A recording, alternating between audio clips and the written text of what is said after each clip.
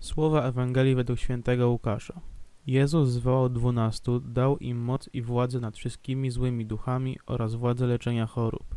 I wysłał ich, aby głosili Królestwo Boże i uzdrawiali chorych. Mówił do nich, nie bierzcie nic na drogę, ani laski, ani torby podróżnej, ani chleba, ani pieniędzy. Nie miejcie też po dwie suknie.